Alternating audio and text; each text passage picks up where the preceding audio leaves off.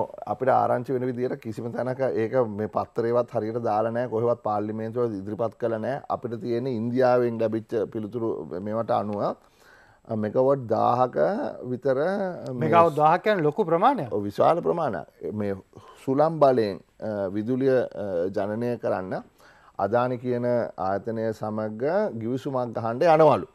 ඒකට කැබිනට අනුමැතිය ලැබුලයි කියල තමයි කියන්න. හැබැයි අපේ රටේ නීතිය අනුව එහෙම එක්කෙනෙක් එක්ක ගිවිසුම් ගහන්ඩ බැහැ.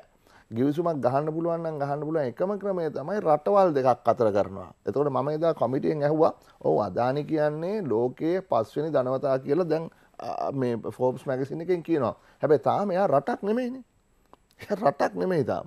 එතොට එතකොට අපේ රටේ නීතියක් තියෙන නීතියට චීනද ඉන්දියාවද ඇමරිකාවද කියන එක අපිට අදාළ නෑ.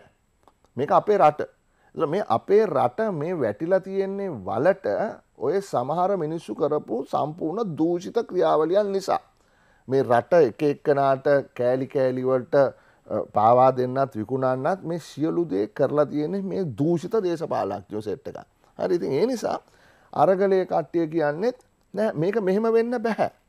අපි කියන්නෙත් ඒක තම අපි කාලයක් තිස්සේ මේක කිව්වා නමුත් මිනිස්සු අපි කියන දේවල් එදා ඇහුවෙන හැබැයි දැන්නම් අහන බව බොහෝ පැහැදිලිව අපිට අපිට තේරෙන අසෝක.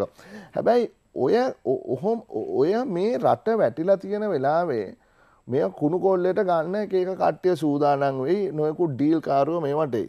එතකොට මෙව්වා කරන්න ඕනේ රට යම්කිසි ස්ථාවරභාවයකට ආවයින් පස්සේ කියනක තමයි මගේ අදහස.